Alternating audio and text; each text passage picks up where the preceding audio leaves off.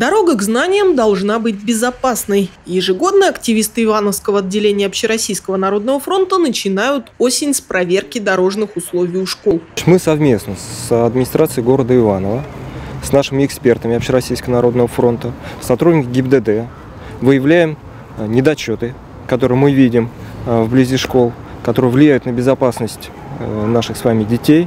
Значит, по результату рейда направляется обращение в администрацию города Иваново, и уже в дальнейшем мы наблюдаем и видим, как ситуация вблизи школ меняется.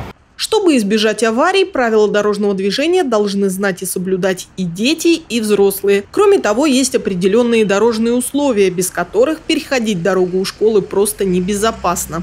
В настоящее время пешеходные переходы оборудуются в соответствии с новыми нормативными требованиями. Так, э, пешеходный переход выполнен в двойном цвете, это белый и желтый, для лучшего привлечения внимания водителей. Также э, знаки пешеходный переход расположены на желто-зеленом фоне, светоотражающем фоне, их хорошо достаточно видно ночью. Ну и возле школ применяются такие меры принудительного воздействия на водителей. Это искусственные неровности, которые помогают снижать скорость движения транспортного средства.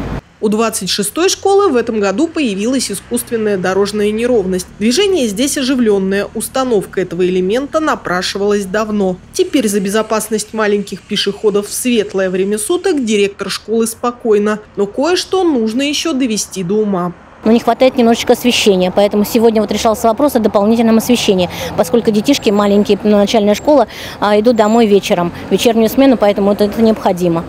А так действительно город очень внимание большое обращает и помощь большая. Изменилась и дорожная обстановка у 23-го лицея. Еще год назад, выходя за ворота, учащиеся попадали сразу на проезжую часть. Прошлогодние рекомендации комиссии учли, и теперь яркий пешеходный переход ведет школьников и их родителей прямо к тротуару.